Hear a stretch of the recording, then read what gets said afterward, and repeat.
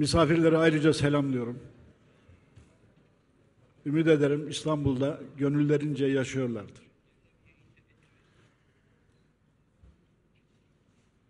Ben e, Hüseyin Kaptan, İstanbul Metropolitan Planlama'nın başkan danışmanı sıfatıyla kurucusuydum.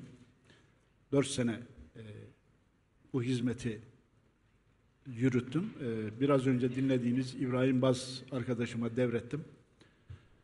E, e, bu oturumda e, soruları mümkün olduğu kadar kendi açımdan İstanbul yönünde geliştirmeyi düşünüyorum. Sonuç olarak ve bir ölçüde de bu deneyimin temel sıkıntılarını size bir vesileyle böylece aktarmak istiyorum. Ben masada bulunan çoğu arkadaşımı tanıyorum. Chris Christianse İstanbul'a gönül vermiş bir plancı, çok deneyimli.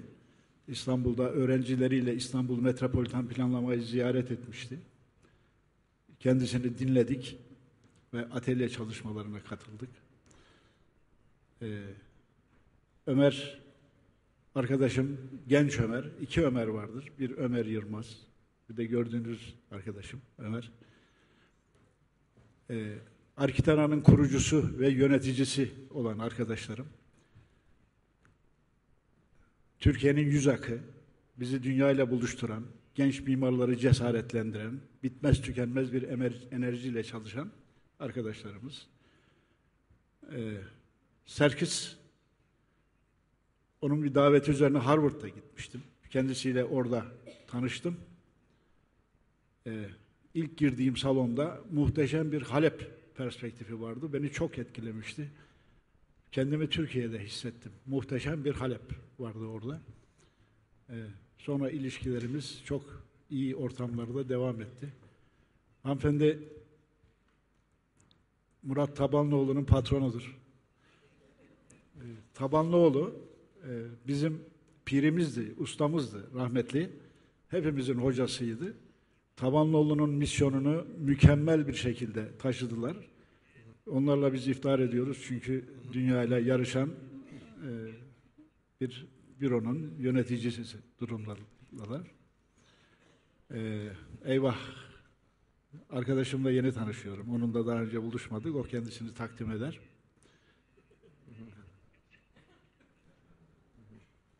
Alright. Ee, sizinle de yeni tanışıyoruz. Alright. Ben galiba e, Richard Semet'i çok dinledim. E, kendisiyle tanışmaktan çok mutluyum. E, Faruk Göksu'yu da söylemem lazım. Faruk Göksu da İstanbul Metropolitan Planlamada e, şeydir, e, Faruk Göksu kendisi ombusmandır yani. Benim tanıdığım tek ombusman o. E, fakat e, müthiş bir geleceği olan mesleği var. E, yani bundan sonra işimiz ombusmanlarla diye düşünüyorum. Yani uzlaşma ortamında. E, e, Castello, e, onunla da yeni tanışıyorum. Tahmin ediyorum kendilerinin konuşma süreçlerinde e, kendilerini bize tanıtırlar. Onları burada misafir etmekten büyük bir haz duyduğumuzu ifade etmek isterim. E, Well, thank you. Well, I only want to start this going. You know, we already we already heard the, the agenda of my colleague Hussein here.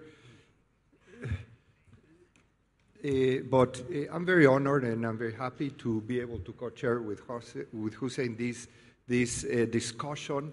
I am a little always disturbed by the term retrofitted which you know I would have liked to hear another word. Maybe it's about reinventing the city or something.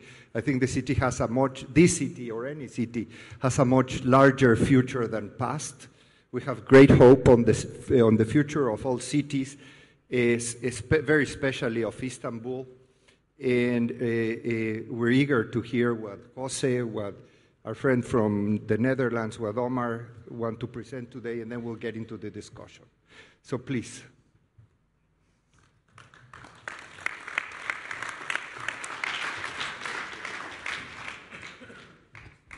Good afternoon.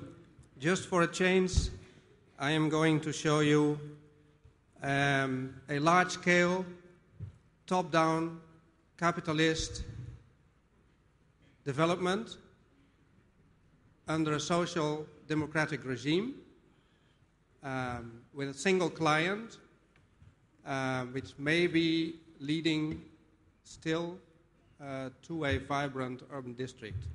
Before that, um, I would like to recommend you to visit uh, the Biennale in Rotterdam, Open City, which, uh, as you see, has already had a review in, uh, in a Turkish uh, magazine. Um, it's about almost all the aspects and also a lot of projects uh, that we have been talking about last two days. Many of the people here have contributed to this Biennale. And you see top right, um, you see some high-rise towers um, that are, of course, uh, one of the main threats of monofunctional developments um, that we uh, face um, in this uh, era, contrary to a kind of concept uh, for the uh, open city. So here's this top-down, large-scale urban development, the Hafen City in Hamburg. Here you see one of our um, interventions, a new pedestrian bridge connecting this um, area to the city center of, uh, of Hamburg. Um, the Biennale in Rotterdam is about um, open city. And um, of course, open city is a very wide concept. I think we have uh, uh, arrived at a palette in that exhibition that really deals very well with the theme. But here, in short, two diagrams. On the left hand side, you see the tendency uh, of today's uh, urban development compounds, gated communities, university campuses, Kempinski hotels, airports, um, connected by single access um, traffic lines. And on the other side, on the right hand side, you see a potential diagram for maybe a kind of uh, more inclusive city with a multi directional system of uh, networks, streets, um, um connectivities, etc. And in it, uh, you see a bunch of uh, colored potatoes. These potatoes represent communities, overlapping communities that in this system um, um, establish nodes of contact in order to um, uh, create a vibrant city. Um, an open city is not a 19th century neighborhood that has been upgraded in the sense of Jane Jacobs. Um, an open city can be active uh, on many levels. It can be active on the level um, of a neighborhood, like here in the harbor city on a Sunday afternoon. It can be active on the level of an agglomeration. You see a beautiful archipelago of potatoes, overlapping potatoes, of communities um, that form the agglomeration of London. It's one of the most intelligent maps uh, of contemporary uh, urban representation um, I think has been ever made. One of the most important aspects of this is that all potatoes are equal, but some potatoes are more equal than the other potatoes. Um, the open city can uh, function on the level of a polycentric um, um, um, conurbation, like the Randstad Holland, for instance, because in the Randstad Holland, everybody can get work everywhere. There are no go zones. You can move uh, from one side to the other within one hour, whether you are rich or poor. Um, so, in a sense, you can also um, consider it as an open city. And uh, maybe you could also maintain that the, the whole of the Western Europe, uh, with its uh, urban uh, network of uh, middle sized cities that are all 100 kilometers apart and in which you can reach every city within three to four hours, is also, in fact, one large um, open city landscape. So, um, in the last uh, level that we could maybe talk about is the uh, transnational level, um, in which um, um, heavily dependent on uh, communication technology and travel, um, certain communities um, form communities that uh, go beyond borders and beyond oceans. So um, this is a kind of indication that we are talking about a multi-level system of, uh, of, of co communication when we talk about uh, open city. If we talk about uh, town planning, how we can uh, deal um, on the level of uh, the urbanists and of the urban design plan uh, in this field, uh, maybe it's interesting to focus on uh, urban reports. It's a kind of quick scan of a lot of European middle cities that we did about a year ago.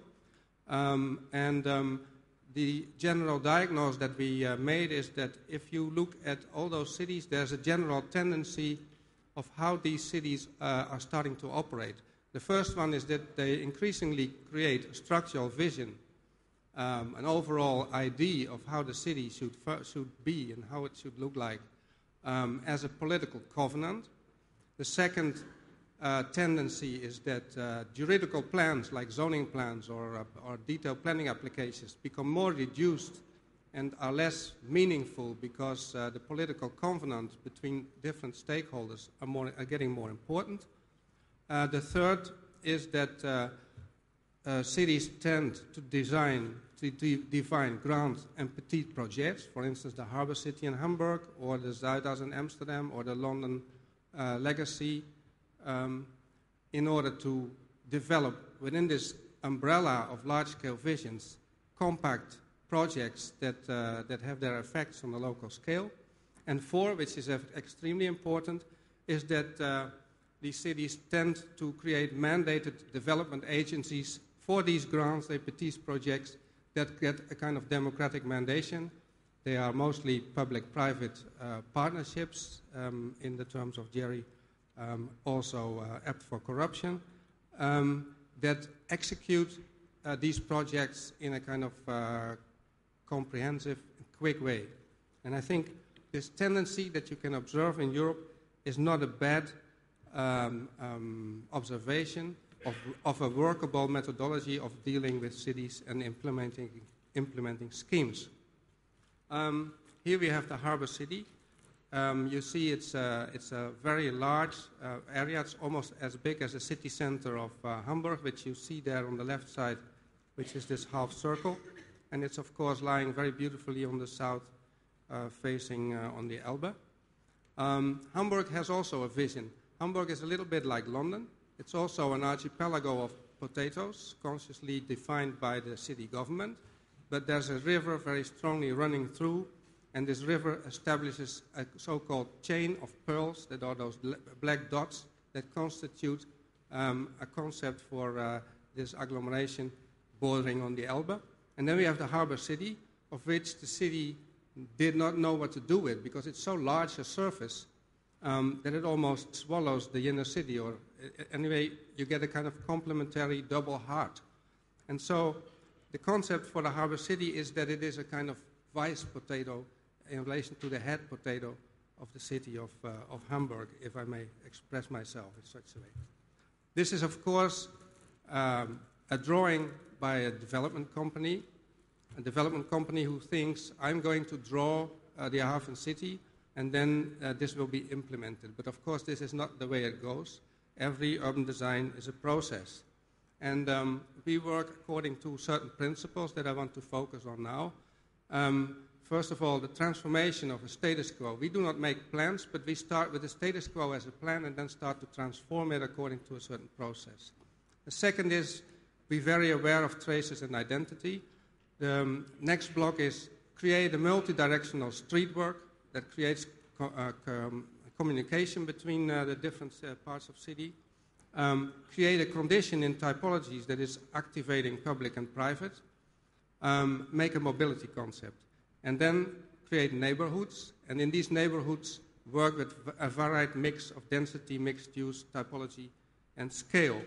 And of course, this whole project is very sustainable, but I'm not talking about that any more than that we have technical sustainability that is being in evident rules that everybody has to comply with, no emissions. And on the other hand, if you make good cities, like Penalosa said, um, you will reach about half of the sustainability uh, by the virtual design uh, and process development of your city. If we talk about transformation of the status quo in Hamburg, we had a little bit of a, a problem because we had to raise uh, the, the, the, land with three meters, which would threaten to kind of take all the buildings away because of uh, water flooding uh, danger. We managed to have this only partially in the area, so there's a kind of uh, um, interesting difference of level uh, in this area. The second aspect is that we felt we must activate the area at uh, the same moment that we start planning. So there has been an information center created and all kinds of temporary activities being uh, implied, uh, even a temporary cruise terminal, um, some uh, follies with, uh, with viewing towers, city lounges, um, open air cinemas, and also the invasion of existing buildings with temporary use and activities. Here you see, for instance, the information building, which is an old um, heating house. It's a very beautiful uh, building that contains a large model, and this is a kind of contrast to the new developments that we built in the horizon that you see in front of it. Here you see the model. We work mostly with models and less with computer simulations and drawings because on this level of developing an urban uh, scale, it's very important to work with models. Heritage, um, traces, it's very important to look at the existing traces. Here you see, for instance, a contrast between old and new. But for instance, the fact that we had to raise the whole um, area with three meters for the flooding would destroy all the quay walls. The quay walls are one of the most beautiful uh, characteristics of this harbor city, like you see. So we managed to get a strip of uh, six meters where the quay walls were respected, and then uh, we created promenades, and on top of that, there was a podium with parking and the buildings on top of it. You see also that uh, we use, uh, with very big effort, existing uh, buildings in order to kind of re retrofit them. This is the Elbphilharmonie by um, Herzog and de Meuron, who built a uh, philharmonic building on top of a uh, um, warehouse.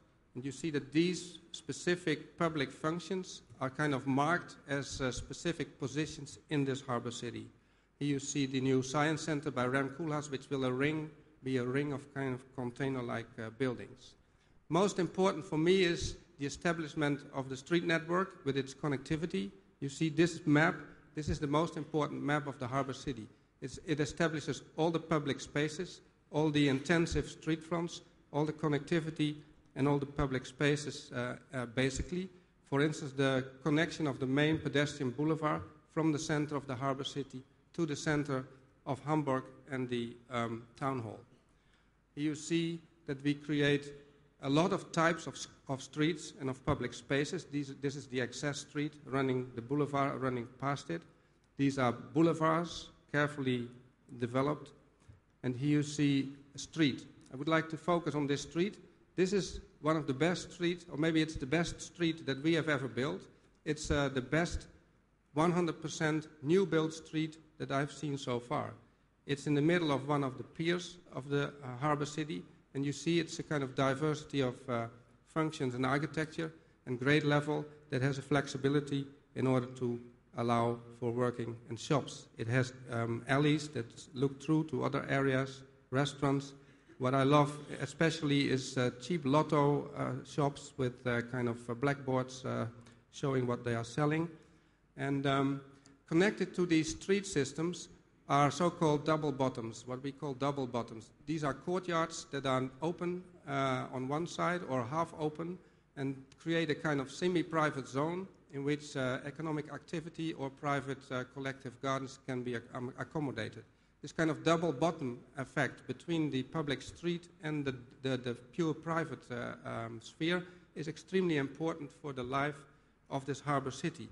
Some of these courts are also shopping centers um, because we have, uh, we, we, have arrived at succeeding in uh, forbidding shopping centers in this uh, harbor city. So the shops are all in courtyards and the street stays free. You see models of these courtyards. Um, if you do this right, then you get these kind of uh, taffarels. You can get these kind of uh, real urban, vibrant um, uh, environments with a multiple architecture guided by a master plan and a political stakeholder system um, carefully uh, socially mixed, and it leads to these kind of, uh, of conditions. We have also a mobility concept. Strange enough, this mobility concept also generates uh, private initiative. For instance, these uh, uh, rolling things left uh, top, they are a private initiative in the harbor city, and that you can rent them out, and you can also get a headphone and then drive through the city in what you see. Maybe even more important, or even important as this street network, is the uh, creation of quarters. Here you see a model in which you see that we have a coherent urban design, which consists of this uh, streets and public space network, but at the same time we differentiate into quarters. These quarters are very important as differentiation. The one where the street was is this one, for instance. It's a more or less residential uh, area, but the residential area means always that it's 25% um, working and amenities in grade level aspects. And for instance, here you see the uh, central quarter, which was against our will being developed by one developer, but we managed to have every block at least being done by two architects, um, have a mix of functions, and have no covered shopping malls at all, um, have only shopping inside uh, the courtyards in a kind of quiet um, atrium uh, ambiance. And um, this functions uh, relatively uh, well. As, as I said, it's very important and also very difficult to get everything right. And th- there is only one way of working on it, and that is create large-scale models. This is a 1 to 200 model uh, segment of uh, this harbor city, in which you really stand around the, the area with stakeholders and create um, this uh, ambience. You see the center of the uh, central quarter again. And last but not least, I think one of the successes of the harbor city is the way land is handed over to investors. We are not giving away simply large blocks to investors. What we do is we define carefully, like here, a quarter in a kind of bandwidth of uses uh, so that there's a kind of uh, flexibility of, uh, of use mix, but there is a kind of uh, oblig- obligation to, to, to create um, a mix of uses. We uh, describe in a rough way typologies, and then we uh, give out plots, and these plots are given out to investors uh, by competitions, which means that we always pick out uh, the best project. Every project in the harbor city is a competition, and this leads to this kind of um, environment, and that was exactly the 15 minutes that I was going to talk. Thank you very much.